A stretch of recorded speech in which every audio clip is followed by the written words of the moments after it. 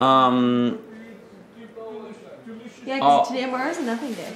yeah, apparently. Love Unless POV ceremony is tomorrow, but it's always a day in between. Like, never say all. I guess to process the negotiations.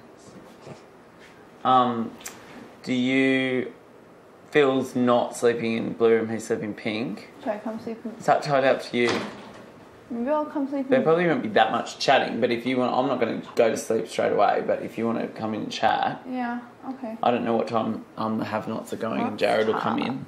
Okay. But last night it was just like, did we tell you what happened? We're having a good laugh.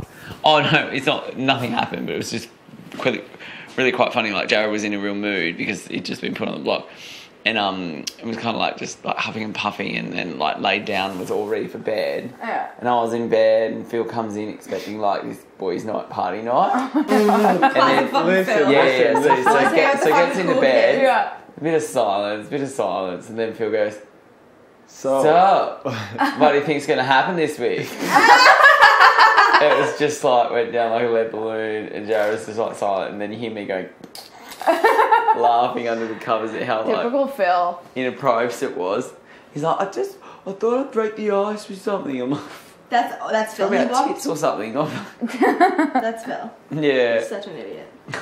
Oh my But god. whatever. All right, well, night, guys. I'm gonna come lay down in a minute. How do I undo this?